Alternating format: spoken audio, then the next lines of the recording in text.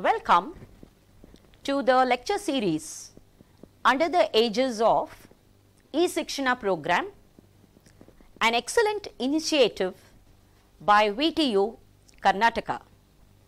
This is Professor Uma Rao bringing you the lecture series on transmission and distribution. So, in the last session, I just introduced you to reliability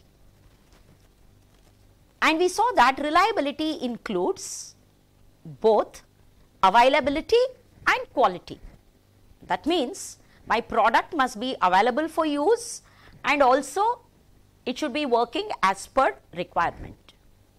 So, in this session, we will look deeper into the concepts of reliability as applied to distribution systems.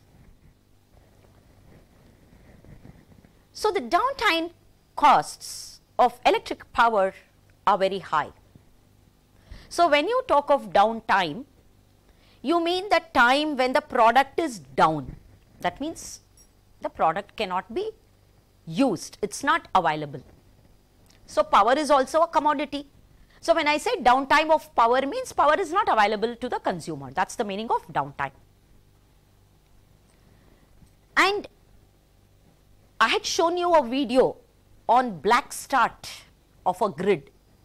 So, black start is after a complete blackout of the grid when all the generators have failed, all the generators have tripped, the major transmission lines have tripped, the system is black. It has been subjected to a blackout. So, from that state I have to start it.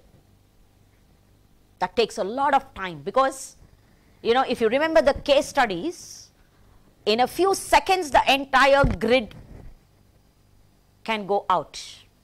But to put it back in place a lot of time is required and it could be anything between 48 to 72 hours that is 2 days to 3 days. Imagine a country like India where we have one national grid being without power for 2 or 3 days. The economic loss would be immense. Okay? Reliability assessment therefore is the most important factor in designing and planning of distribution systems so that they operate in an economic manner with minimal interruption of customer loads. A lot of focus was given to reliability of generating systems because they were capital intensive and initially and not much effort was given to reliability of distribution systems. However, the sensitive electronic equipment we use today and the automation of industries and the advent of internet, extensive communication, global interactions. So, these demand a very high degree of reliability and quality power supply today as compared to earlier days. Therefore, reliability of distribution systems has become a major topic of consideration in modern power systems. Moreover, the modern consumer is aware of the power sector, aware of the rights and duties and therefore, the demand from the consumer also has increased. So, today a consumer would not be ready to pay high tariffs if the system is not reliable. So, these factors have led to increased focus on reliability. So, let us formally define reliability. Reliability is a measure of the probability that an item or a collection of items will perform its intended function for a specified interval under stated conditions. Every word is important here. First, it is a probability. If I say my reliability probability is 0.98. So, 98 percent that means there is a 2 percent chance of failure. Okay, that is the meaning of the word probability. So, it could be a single item or it could be a system as a whole. A system if you consider, when I say reliability of the distribution system, it is not one product, it is a collection of items. Okay? So, an item or a collection, collection of items. For example, if you take a vehicle, if you take a car, you can talk of reliability of the engine, you can talk of reliability of the battery and you can also talk of reliability of the car, right. So, a battery is an item, the engine is an item, but the car per se is a collection of items. So, it should perform its intended function for a specified interval. So, I have to specify uh, no, no product can go on infinitely right. So, for some what is the duration and under stated conditions. So, what if you look at for example, the advertisement for tires, you know, you will find some tires they say you know they show show the jeeps going up mountains on boulders etc and still nothing happening to it. So, they are stating the condition they are saying under those worst conditions your tire is still reliable. Okay. So, if I show my ad with, with a car you know going on a highway and then it fails on the hill I can't say it is not reliable because it I have not stated the conditions that is the meaning. So, the period can vary from a specified time period to the entire life cycle of the item. So, every item has a life cycle after all it is made of material right. So, just like living organi living beings have life even the non-living things also have a life because everything is made of matter. So, wear and tear is always there. So, this is the formal definition of reliability of any anything, any item, any system, any product. Next, let us define availability. Availability means it is a measure of the percentage of time the equipment is in an operable state. That is the uptime. How long it is operable. For example, we say the availability of a machine is 85 percent. That means 85 percent of the time the machine is available. It is not available for 15 percent of the time. Why?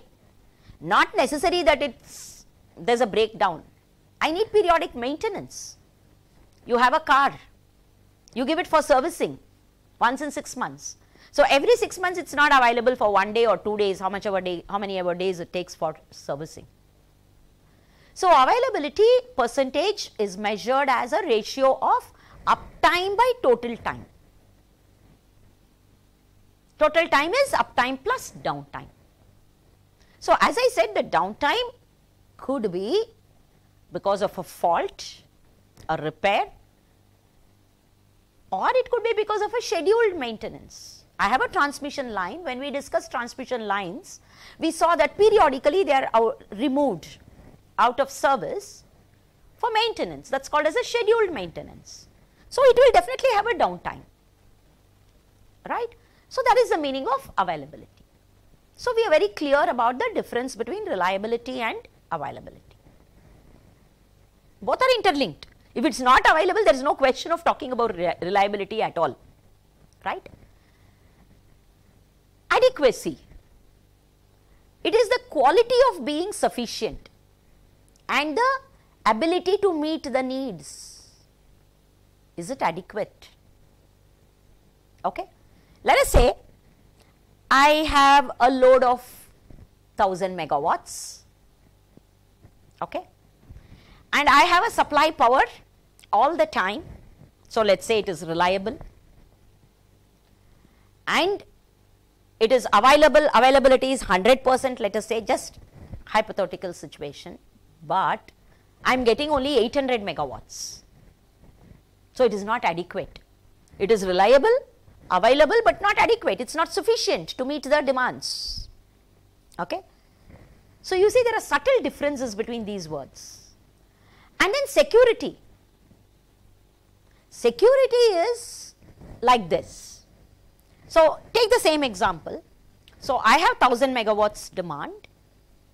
The system is reliable, available, adequate, but if a fault occurs in one of the lines, then the system cannot withstand. So, you remember when we discussed feeders, we saw that if there are two parallel feeders, if one goes, the other can take up the load, provided it has the capacity to do it. And I told you that time it makes the system more reliable, that is security. So, under normal conditions, there is no problem. But if there is a dynamic condition, a contingency, an emergency, then the system should be able to withstand it. So, that is building redundancy into the system. So, if my demand is 1000 megawatts and I have a supply of exactly 1000 megawatts and what if one of the generators fails? Then I can't meet my load. So, there is no security. Okay? So, security is another aspect. So, you see these are all different aspects, but all of them go into reliability. So, reliability, availability, adequacy, security. Security is like your bank balance, right. So, if I spend whatever I have every month, then if an emergency occurs, I fall sick and I need money, I do not have any reserve. So, I am not secure, that is security. Got it? So, under normal conditions, my power system is able to supply the load, but if a fault occurs, there is no redundancy, there is no reserve, so it is not secure. So, this is another aspect. So, very interesting.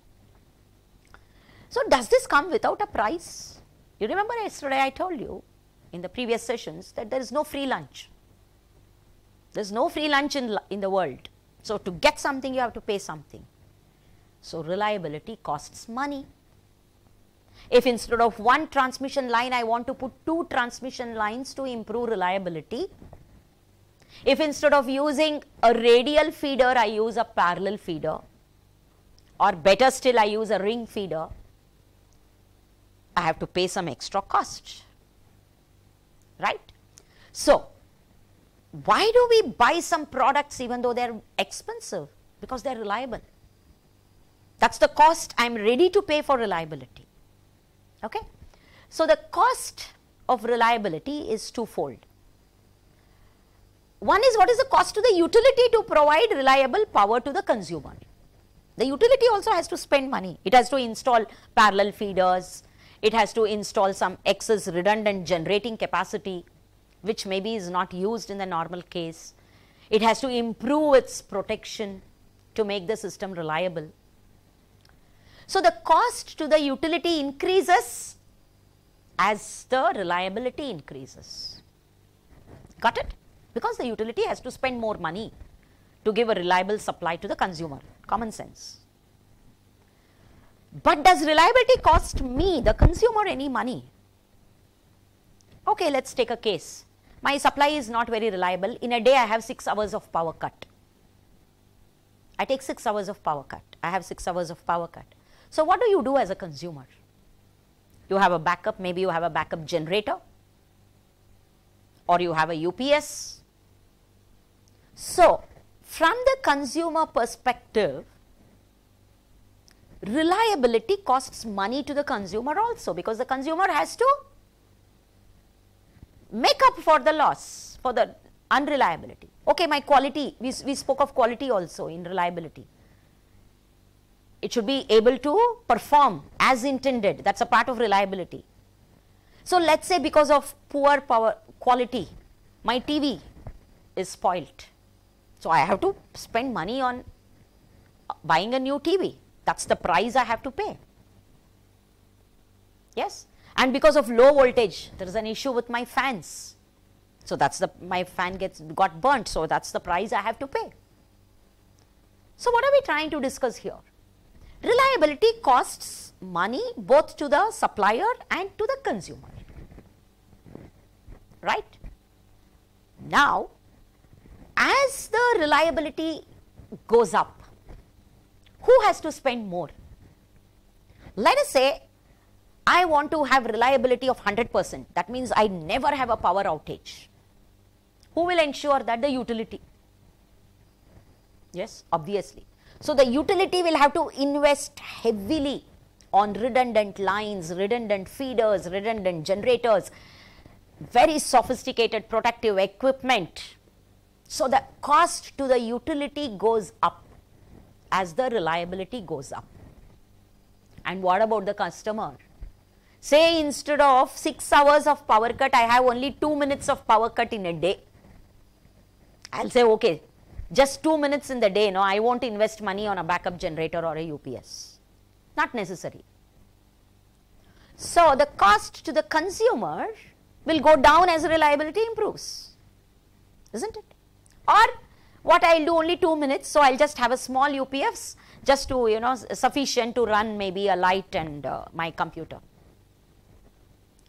So, keep this in mind as the reliability of the distribution system goes up, the cost to the utilities goes up, increases and the cost to the customer decreases. So, the total cost to the system as a whole we can say is the sum of the two. Obviously, somebody is paying the money, somebody is paying a price. So, the total cost would be sum of the two. So, where, so do I make the system 100 percent reliable? It is going to be very expensive. Is it worth it? So, what we do? We find a point where this cost is minimum. The total system cost because the cost to the as reliability increases, the cost to the utility is going up, cost to the consumer is coming down. So, there will be one point where the total cost is minimum maybe reliability of around 98 percent or something. So, that would be the reliability we will try to achieve. So, that there is neither if it is smaller than that utility will have to pay heavy price sorry customer will have to pay more and if it is larger utility will have to pay more. So, we come, come to a compromise. Look at this curve. So, as the system reliability improves the cost of the, it is not linear, huh? it is non-linear because there are a number of factors which come into play. I told you there are so many components, you are talking of the reliability of a system. There are so many components, each of them have different life cycles, each of them have different wear and tear patterns, each of them have different maintenance requirements. So, similarly as reliability improves the cost of the customer comes down. So, the total cost is the sum of these two and it has a point of minimum. So, this is the reliability I will try to achieve. The total system cost, we call it as cost to the society that is the system.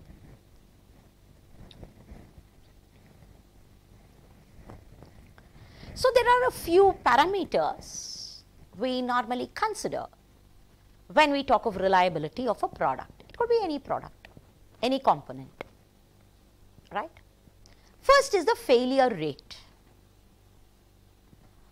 How many times does the component fail in a unit time? The unit time could be a year, a month, a day, depending on what product you are talking of. If, you're if I am talking of my car, I say it, it hardly fails. In the past 5 years, it has failed 2 times. So, 2, two for 5 years, 2 for every 5 years, right. So, that is called as a failure rate and it is denoted by lambda. Lambda is total number of failures divided by total test or operating time.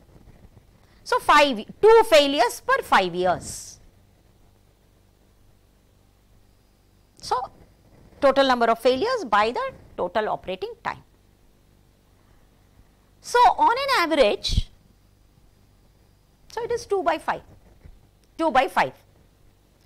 So, if I say there are 2 failures in a, for a period of 5 years, on an average I can say two and a half years is the time between 2 failures.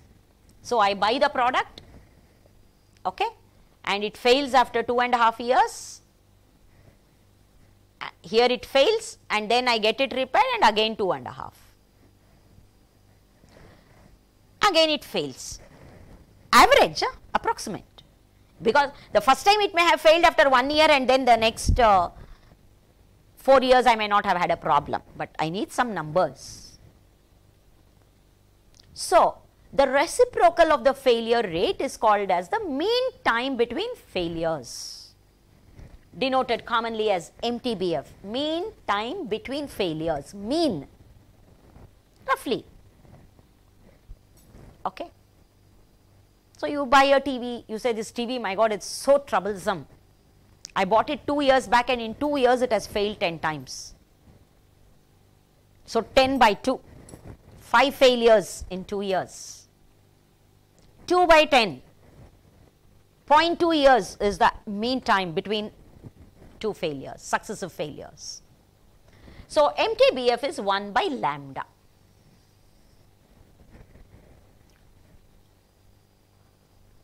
So, I want lambda to be as small as possible that means the failure rate the number of failures in a unit time should be very small and I want the meet, me, MTBF to be large that means the time between two successive failures should be really large. That is my wish for any product, any product. Now here the product we are talking of is electrical power, electrical power. So consider an example. So I have a hard disk, it could be a circuit breaker, it could be a relay in a distribution system, it could be a fuse, wire and it could be a distributor, a line, any of the components we use in the distribution system.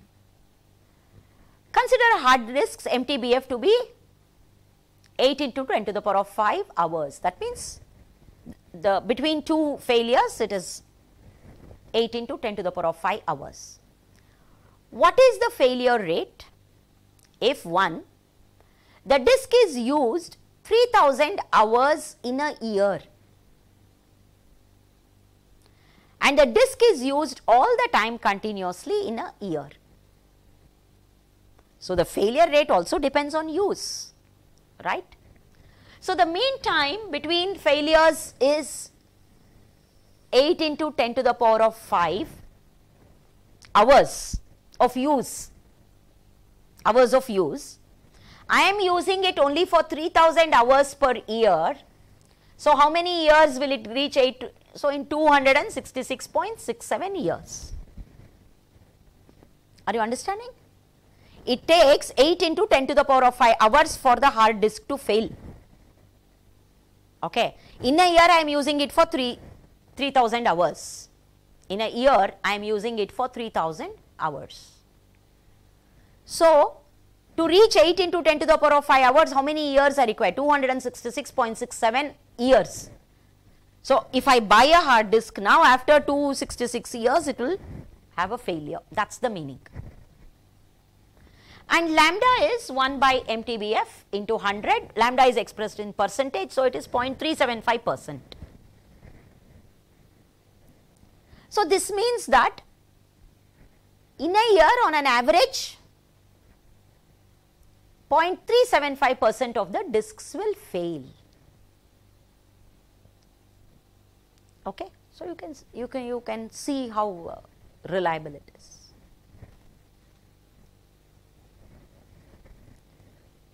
So, now if I use use the disk throughout the year continuously, the first case I used it for 3000 hours in a year, but now I use it continuously or throughout the year. So, the total number of hours in a year is 24 into 365 days. So, it is 8760 so, it is 91.32 years and now you see the failure rate has gone up 1 percent approximately. So, if I manufacture 100 discs there is a probability, probability one, per, one of them will fail in a year. Okay? That is the meaning of these two parameters. So, these two parameters you get it from statistics, manufacturing uh, experience, usage and is specified for all the major components. Now, the failure rate is not constant throughout, okay, because initially we have what is called as the teething problem. So, you just see any new, very often it happens, any new product you buy, you say you buy a TV, immediately after you buy the TV, you feel that the remote is not working properly, some channels you are not getting something. So, you buy a car and then it is giving you very poor mileage. So, then immediately the mechanic will tell you, you run it for around 10,000 kilometers, then everything will be all right. So, a lot of these components have to be used for them to settle to an equilibrium operation. And then you use it for some time. Then what has happened? Wear and tear has occurred. So, again the performance will deteriorate. So, the failure rate is not constant throughout the life cycle of the product. So, how do I represent this? There are some standard curves. The first is called as the bathtub curve. The bathtub is like this, right? This is the bathtub. So, during the initial phase, failure rates will be large, which diminish as the errors are debugged and rectified. During the working life, failure rates are reduced random failures you will have. And towards the end of the life cycle, more failures will occur. That is a wear out phase. And then after that wear out phase, after some time of the wear out phase, what happens? It is no longer economical to keep the product because you have to keep repairing it. You have to keep repairing it. So, it is no longer economical. So, you discard the product. You say the life cycle has ended. The life cycle has ended. So, you see here, this is the failure rate. Initially, the failure rate is high. It is called as infant mortality. It happens in us also a child is sick, there are a lot of children who are very sick when they are born and then you keep going to the doctor and something they say the lungs are weak, something is weak and then it will it will all get rectified as the child grows. So, slowly those illnesses reduce. And then during the normal life, useful life, the failure rate is low and more or less a constant. This is a failure rate, y axis is failure rate. Then after some time the product has become old, so failure will be more and then the failure rate will go up and then you decide how much failure rate you are ready to take and at that point you discard the product. At that time you discard the product. This is called as the life cycle, the life cycle bathtub curve, bathtub curve, very popularly used for various products. The second one is what is called as a constant failure during working phase and a Gaussian failure during wear out. So, you see here during wear out it is like this. So, some random failures occur. So, any random occurrence follows a Gaussian function. This is a kind of a model. We are trying to build a mathematical model for failure rates. Okay. Here the failure rate is assumed to be constant during the working phase similar to your bathtub here and then during the wear out phase it is a Gaussian random failures occur. So, this is another kind of response for failure. And the third one is a real life failure rate curve. So, the bath curve, bathtub curve is a good model, but realistically what happens? slightly there will be ups and downs. So, both the two previous curves are not perfectly true in real life. So, what happens in the active phases some, some period the failure rate is more or less so on because some random failures occur which you can't predict. So, this is one other curve. This is called as the real life failure curve, failure rate curve where it is not perfectly a straight line, but slight undulations are there. Okay. This is what it happens, but this is difficult to model mathematically because I do not know exactly how those uh, changes takes place. So, as an approximation we can use the bathtub curve. Now, probability distributions apply to reliability. So, the first one is exponential or Poisson distribution. So, this distribution is used to model a product which has a constant failure rate. So, during the active phase you can model using the Poisson's distribution. It has a fairly simple mathematical form and very easy to manipulate, but however it is not very accurate. So, here if you see the failure rate is given by lambda, we saw what is lambda, the failure per unit time into e to the power of minus lambda t. The failure rate with respect to time, whenever you talk of rate it is with respect to time is given by lambda e to the power of minus lambda t where lambda is the constant rate of failure. So, in the bathtub model you have that. Okay.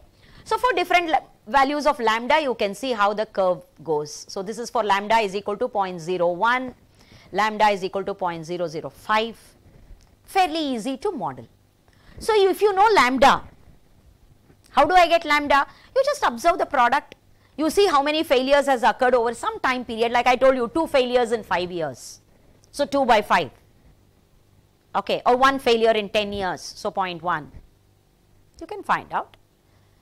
Or if you take a product, let us say I have a batch, I may make a batch of 10,000 numbers of a particular product and out of that 10,000 in 1 year 500 fail. So, 500 by 10,000. So, you can get the value of lambda and this is the response you would get. Then you can also have a normal or Gaussian distribution. So, a lot of components in the distribution sector, the properties like insulation strength, the dielectric strength, mechanical strength, etc., overhead lines, insulators, they all normally the failure follows this. Okay. Then you also have a log normal distribution. So, this model is used when the physical fatigue is the main contributor to failure. Physical fatigue means mechanical stress, maybe due to vibrations, due to strain, due to tension. So, here the failure rate increases initially and then decreases and then decreases eventually approaching 0. So, over voltages due to lightning and over current magnitudes they all obey this distribution. It is not lighting, it is lightning. Next we have a binomial distribution very popular in mathematics. I am sure you have studied all this distribution in probability theory in maths. So, this is again popularly used. Supposing P is the probability that a product fails after t years. So, you know if p is the probability it fails 1 minus p is the probability that it will not fail that is q right. If p is the probability of failure 1 minus p is the probability of it being in a working condition. So, supposing I have n such devices right then out of these n devices, the probability that x will fail is given by the binomial distribution. What is that? n factorial by x factorial into n minus x factorial p to the power of x q to the power of n minus x. So, let us be very clear about the terms here. n is the total number of items. Let us say I have insulators, let us take the case of insulators. So, let us say I have 10,000 insulators. 10,000 just, just to understand what, what this means 10,000 insulators and x let us say 100 x let us say 100. Now, P is the probability of one insulate of an insulator failing in one year. So, Q is the probability of the insulator not failing that is operating. Therefore, if I have 10,000 insulators what is the probability of 100 insulators failing in a year if P is equal to say 0.05. Are you, are you getting what this uh, binomial distribution means? So, n is large number of devices out of that some amount x, what is the probability that x will fail? So, because you do not manufacture single products, many of them, no, in, for example, in power systems, I do not manufacture one insulator, I manufacture hundreds, thousands of insulators. I do not manufacture one circuit breaker, we manufacture thousands of them. So, if I manufacture say 10,000 or, or 100,000, what is the probability that 10 of them will fail in one year? That is what this binomial distribution tells you. So, the standard deviation and mean of the distribution are given by Mean is NP, N is the total number of devices and P is the probability of failure and the standard deviation is root of NPQ. These are standard formulae in maths. Then you have similarly like binomial distribution, you have Poisson's distribution. Here f of x is given by e to the power of minus mu, mu to the power of x by x factorial. So, the standard is deviation for this is root of mu. Now, we calculate something called as the reliability or survival function.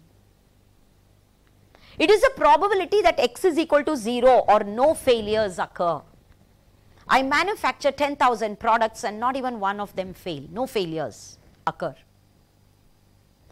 So, there it is given by e to the power of minus lambda t that is equal to e to the power of minus t by MTBF mean time between failures this is because this is equal to 1 by lambda.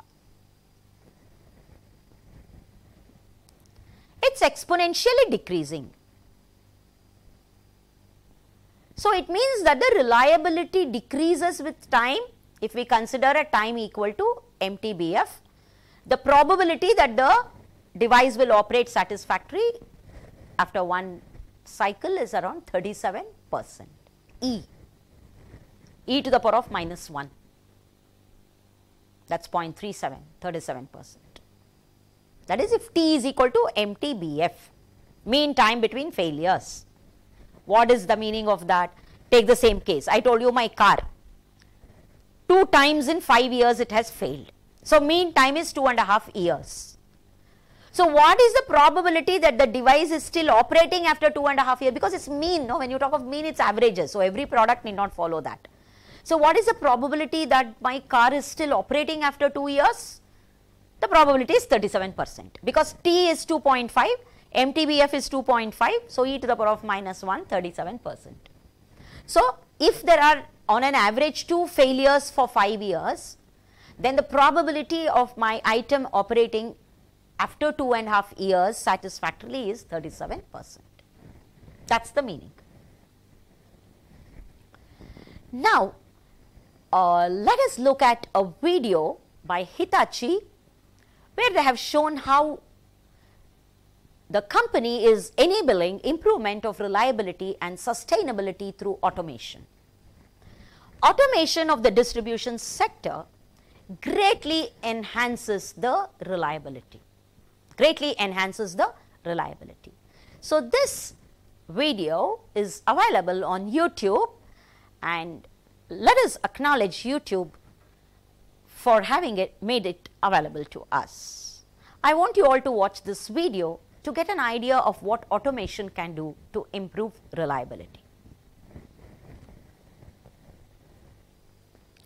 You have another very good video on the power system reliability again available on YouTube and thanks to them we all can watch it.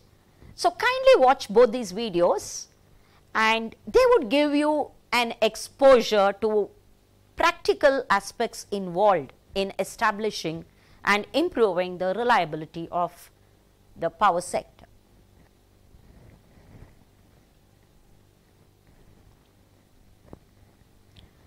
So, when we define reliability, we use certain indices. These are standard for any product. Just like how lambda, MTBF, they are all standard for any product. We are using them for products in the distribution or in the power sector. Similarly, these indices are also general. So, I have something called as SAIDI, System Average Interruption Duration Index. Look at the word. SAIDI is an acronym. The system, whatever system you are talking of, average, mean, interruption, duration index. So, this is the index measures the average value of interruption. A customer faces in so many minutes per customer. So, let us say I have a system and my system is servicing many customers. Just like the distribution sector is making electrical power available to a number of customers. So, what is the probability that this index will tell you what is the average value of interruption of service every customer has to face per customer. Okay. So, it is defined as sigma Ri into Ni by Nt. This is the calculation, this is how you calculate.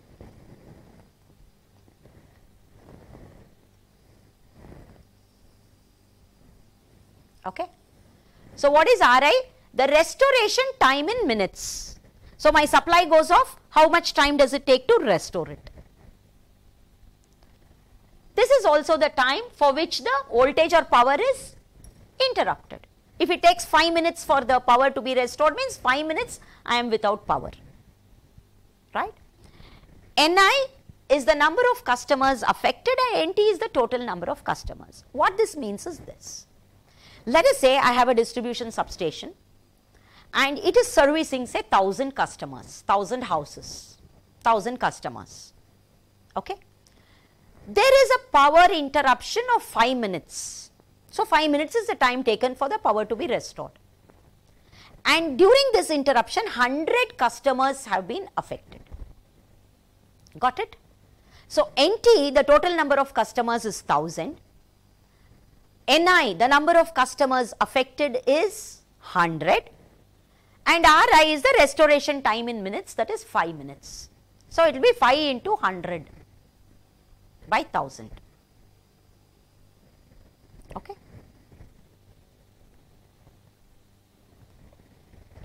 Take an example. Assume a distribution company is supplying 50,000 customers and there are two interruptions in a day. The first interruption is for 30 minutes affecting 400 customers and the second is 45 minutes affecting 1000 customers. Then what is SAIDI? SAIDI remember is the average value of interruption per customer that, that does not mean that all the customers are affected. It is just an average value okay. It is just like I am earning 1000 rupees, you are earning 500 rupees. So, our average is 1000 plus 500 by 2 something like that. So, here I have 30 minutes, this is Ri affecting 400 customers Ni plus sigma 45 minutes affecting 1000 customers. So, the numerator is sigma Ri Ni divided by total number of customers is 50,000. So, I have 1.14 minute per customer. So, what this implies is on an average there is a loss of power of 1.14 minutes per customer. It is an index, right. But that does not mean that 1.14 minutes 50,000 customers are affected, no. You see the data 30 minutes 400 customers are affected, 45 minutes 1000 customers are affected, but on an average 1.14 minutes every customer in the system is affected. That is the meaning of this index SAIDI. Then I have CAIDI customer average interruption duration index. So, this is this makes better sense because it tells you it only takes into account the customers who are affected. It takes into account only customers who are affected. So, you see the denominator in the previous case was NT, but out of 50,000 only around 40, around 1000 and 400 were affected. So, it makes more sense to calculate the interruption time only taking into account the number of customers affected. Therefore, the denominator instead of NT it is sigma Ni. So, the numerator is the same 30 into 400 so, 30 minutes 400 customers, 45 minutes 1000 customers and the total customers affected is 400 plus 1000, 1400. So, it is 142.5 minutes per customer, per customer who are affected that is all.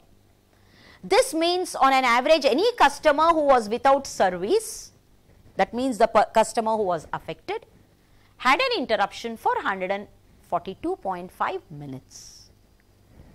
So, this actually you know if you look at this, this is sort of misleading because if I am a customer and somebody the utility gives me this, I say okay, it is okay.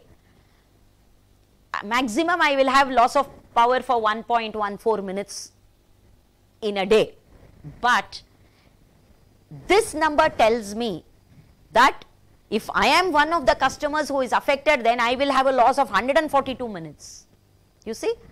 So, the two give you entirely a different uh, feel. And there are some more indices which we will see that is SAIFI and CAIFI in the next session. Thank you.